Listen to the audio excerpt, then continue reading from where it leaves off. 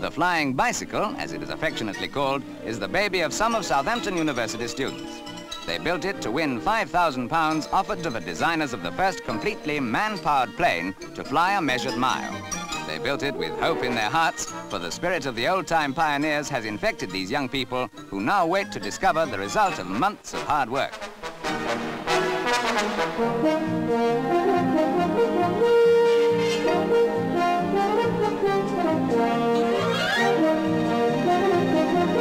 Gliding instructor Derek Piggott is helping the students.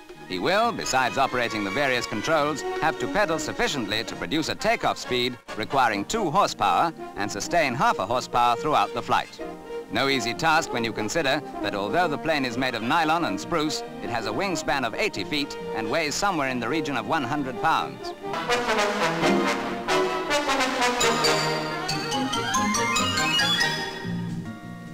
Now comes the nail-biting part. Piggott pedals frantically and slowly the flying bicycle lurches into the air. Only a few feet up, but they mean the top of the world.